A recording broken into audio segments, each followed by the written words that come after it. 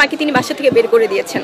এটা কি তার পুরুষত্ব প্রমাণ পেয়েছে? আমার সব কিছুর ঊর্ধ্বে আমার সন্তানের বাবাকে আমি কোনো অপমান করে বোল্ড হতে চাই না। আমি তাকে সম্মান দিয়ে আমি থাকতে চাই, কিন্তু তিনি যদি আমাকে তার সন্তানের মাকে অসম্মান করে যদি তিনি তার পুরুষত্ব জাহির করতে চায়, আমি প্রথমত বলতে চাই যে একজন মানুষ হিসেবে এবং একজন শিল্পী হিসেবে উনি যে কথাগুলো বলছেন এটার আসলে ভাষাগত জায়গা থেকে বা অ্যাপ্রোচের জায়গা থেকে এটা কতটুকু আসলে নেয়ার মতো আমাদের সাধারণ মানুষরা যদি আমরা একটু খেয়াল করি এবং যদি বিশ্ব মা দিবসের কথা বলি, যে সেই মা দিবস উনি যেভাবে আসলে আমাকে সম্মান জানিয়েছেন সেটা আসলে সবাই দেখেছে। তো আমার মনে হয় যে যে এলিগেশনসগুলো আপনারা কথা বলছেন, সেটা আসলে উনি ওনার জায়গা থেকে কেন দিয়েছেন বা হুট করে কেন এগুলো এসছে, সেটা তিনি ভালো বলতে পারবেন। আমার জায়গা থেকে আমি আমার যারা গার্ডিয়ান আছেন যারা আমার অভিভাবক আছে আমি তাদের সাথে কথা বলেছি এগুলো নিয়ে। সো ইনশাল্লাহ এটা সামনে আপনি বলেছেন আইন আইনজীবীর সাথে পরামর্শ করে একটা ব্যবস্থা নেবেন। আসলে কি নেবেন কিনা? এটা নিয়ে আমার গার্ডিয়ান আমার অভিভাবক যারা আছেন যারা সিনিয়র্স আছেন তাদের সাথে কথা হচ্ছে। কারণ আমার কাছে আমার আত্মসম্মান বোধটা সবার আগে। এবং এখানে শুধু আমি না আমার সন্তানও আছেন। সো উনি বারবারই বলছেন যে ওনার নানান ধরনের যেগুলো কথার সাথে আসলে আগের কথার কোনো মিল নেই। এবং হুট করে এগুলো কেন আসলো? আর উনি কী বোঝাতে চাচ্ছেন? সেই জায়গা থেকে আমি আসলে এটা তো আমাদের সবারই জানা দরকার যে কেন এগুলো আসছে। সেই সম্মানের জায়গাটা তো আমরা প্রথমত আমরা তো আসলে মানুষের সাথে সাথে আমরা তো শিল্পী। তো শিল্পীদের জায়গা থেকে আমরা যদি আমাদের বাচনভঙ্গি আমাদের কথাবার্তা আমাদের ওয়ে অফ টকিং আমাদের অ্যাপ্রোচ যদি এমন হয় তো সেটা আসলে বাইরের মানুষদের আমাদের ব্যাপারে কি ধারণা হবে সেটা আমি আপনাদের কাছেই আসলে প্রশ্ন রাখলাম। আইনগত ব্যবস্থাটা কতদিনের মধ্যে আপনারা নিতে চান? কারণ একের পর তো এরকম সে আপনাকে আপনার বলেই যাচ্ছে, ভাষায় বলেই বলেই যাচ্ছে। ইনসাল্ট করেই যাচ্ছে অপমান করেই যাচ্ছে। আসলে এটা কি উনি মানে এটা আপনারা, আপনাদের কাছে আমার প্রশ্ন যে আমাদের আফটার অল আমি তো তার সহকর্মী ছিলাম।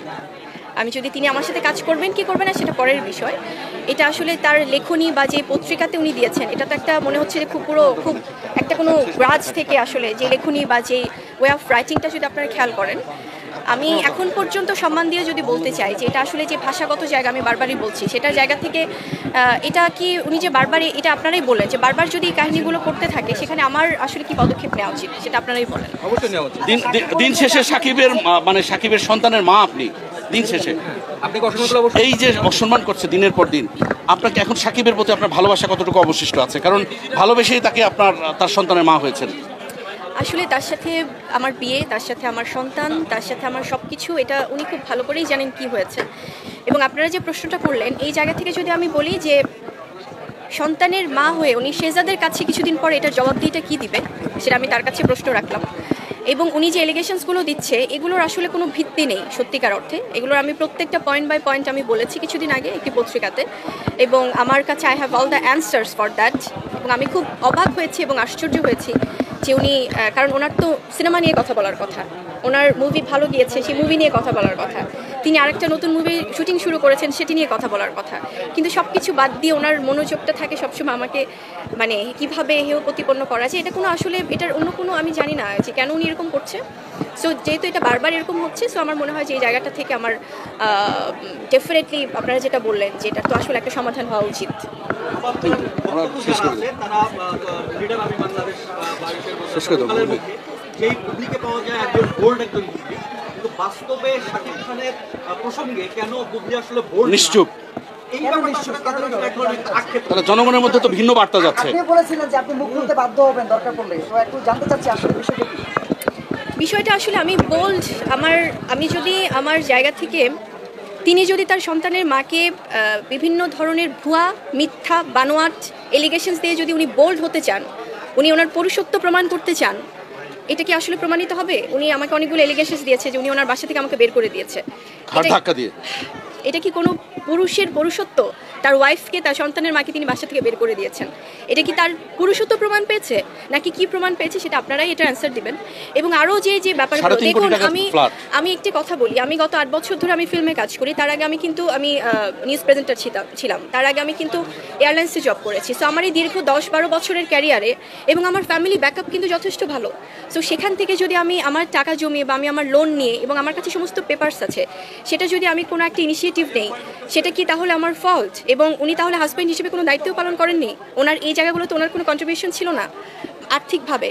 সো এটা উনি আসলে উত্তর দিক এবং আরও কিছু যে এলিগেশনসগুলো দিয়েছে যে মানে আপনারা যেটা বলছিলেন যে বিভিন্ন বিষয়ে বিভিন্ন বিষয়ে উনি নিজেকে কি প্রমাণ করতে চান যে ওনাকে আসলে মানে সব বিষয়কে ওনাকে সবাই ফোর্স করে? আপনারা যদি দু হাজার সতেরোর দিকে যান, সেখানে উনি সেম কিছু এলিগেশনস দিয়েছিল, একই রকমভাবে। এবং কিছুদিন পর পর উনি এখন আমাকে আক্রমণ করছেন। এটা আসলে আপনারা যেটা বললেন যে আমি কেন বোল্ড হচ্ছি না, আমি আমার সহকর্মী, আমার হাজব্যান্ড আমার এবং তিনি সম্পর্ক রাখতে চান বা না চান, সেটা তার ব্যক্তিগত ব্যাপার, এটা আমরা বসে কথা বলতে পারি। এটা ফ্যামিলি ওয়েতে আমরা বসে সিদ্ধান্ত নিতে পারি। এটা বাইরের মানুষকে বারবার জানিয়ে তো আসলে এটা কোনো সমাধান না। এবং আমি আমার জায়গা থেকে হয়তো সংসার করতে চেয়েছি, সেটাই যদি আমার ভুল হয়ে থাকে, এটা আমি আপনাদের কাছে ক্ষমা প্রার্থী। যে এটার জন্য যদি আমাকে এত মিথ্যা এলিগেশনস নিতে হয়, সেটা আমি আপনাদের কাছে ক্ষমা প্রার্থী যে এটা হয়তো আমার আমার ভুল হয়েছে, যে আমি সংসার করতে চেয়েছি, আমি বারবার তাকে সম্মান দিয়েছি। এবং আপনারা এটা আমাকে বললেন যে আমি কেন বোল্ড হচ্ছি না। আমি আমার সব কিছুর ঊর্ধ্বে আমার সন্তানের বাবাকে আমি কোনো অপমান করে বোল্ড হতে চাই না। আমি তাকে সম্মান দিয়ে আমি থাকতে চাই এবং আমি এক্সপেক্ট করেছিলাম যে তিনি সম্মান দেবেন।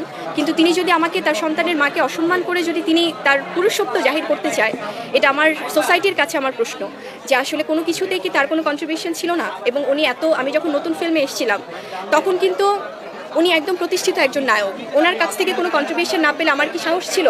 আমি একজন নতুন হিসেবে আমার তার সাথে কোনো কিছুতে ইনভলভ হবার এবং উনি অনেক অনেক ইস্যু এনেছেন, যেগুলো নিয়ে আসলে আমি আজকে কথা বলতে চাইনি বাট আপনাদের সম্মানার্থে, কারণ আপনারা বারবার এগুলো নিয়ে জিজ্ঞেস করছেন এবং এটা আপনাদেরও দায়িত্ব। আমি এটা সম্পূর্ণভাবে রেসপেক্ট করি, হয়তো এই সুযোগগুলো উনিই করে দিয়েছেন, আপনাদেরকে জিজ্ঞেস কর, বারবার যে আপনারা জিজ্ঞেস করছেন। সো আমি চাইব আমি বরাবরই ব্যক্তি বিষয়গুলো আসলে এড়িয়ে গেছি, কিন্তু আমার কাছে মনে হয় যে দিন শেষে আমার শেহজাদের জন্য এই বিষয়গুলো আমার জায়গা থেকে আমার ক্লিয়ার করা উচিত ছিল এবং আপনারা বলছেন, এবং আমি কিন্তু গত কয়েকদিনও এগুলো নিয়ে কথা বলিনি, কারণ আমি বলতে চাইনি কারণ বারবার উনি আমাকে এই জিনিসগুলোর সম্মুখীন করছেন। আমি হাম্বল রিকোয়েস্ট করব যে ওনার কোনো ব্যক্তি বিষয়ে কোনো কিছু বলার থাকলে উনি পারিবারিকভাবে কথা বলুক, কিন্তু বারবার এভাবে উনি একজন সুপারস্টার উনি বলেন নিজেকে। এবং আমি এই নামটি উচ্চারণ করতে চাই না বিকজ আমার কোনো ইচ্ছা নেই, কারণ উনি বারবার বলেছিলেন নাকি আমি তার নাম নিয়ে কথা বলছি, আমি তাকে, আমি শেল্টার হিসেবে দেখছি। একজন সন্তানের মা, একজন ওয়াইফ তো তার হাজব্যান্ডকে শেল্টার হিসেবে রাখতে চাইবে, সামনে রাখতে চাইবে। সো এটা কি আমার ভুল হয়েছে? That's why I don't want to use his name any more আমি ওনার নামটাও বলতে চাচ্ছি না আমি ওনাকে নিয়ে কথা বলতে চাচ্ছি না। আপনারা কিছু জিনিস জিজ্ঞেস করেছেন বলে আমি বলছি সে ব্যাপারে কথা বলতে চাই শেষ প্রশ্ন? আচ্ছা, শেষ প্রশ্ন আমি করি। সাকিব যদি আবার আপনাকে নিয়ে সংসার করতে চাই এত গ্লানির পর সংসার করবেন কিনা আমি এটা নিয়ে আর কোনো কথাই বলতে ওকে ডান শেষ